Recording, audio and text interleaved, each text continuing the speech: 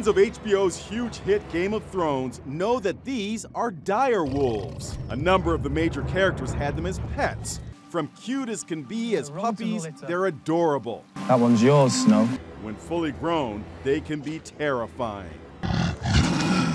The mystical dire wolves look just like Siberian huskies, only bigger, and that's turned the husky into the hot dog of the moment. Now, Game of Thrones star Peter Dinklage is asking fans of the show to think twice before they bring a husky home. Many of these huskies are being abandoned, as often happens when dogs are bought on impulse without understanding their needs, Dinklage says. Please, please, if you're going to bring a dog into your family, make sure that you're prepared for such a tremendous responsibility and remember to always, always adopt from a shelter. The numbers have just skyrocketed. I probably get two to 300 requests a month just in the Los Angeles area alone to take in surrendered huskies that people can't take care of anymore. Heather Schmidt is with the animal rescue group Hollywood Huskies. You really need to know what you're getting into if you want to adopt a husky.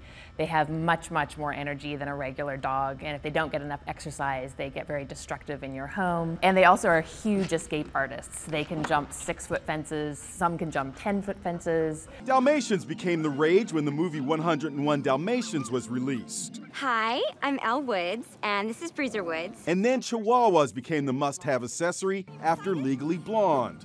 Shelters reported a big rise in abandoned Dalmatians and Chihuahuas in both cases. Now it's happening with Huskies. We're talking about hundreds, probably nationwide thousands of Huskies that are getting euthanized every year.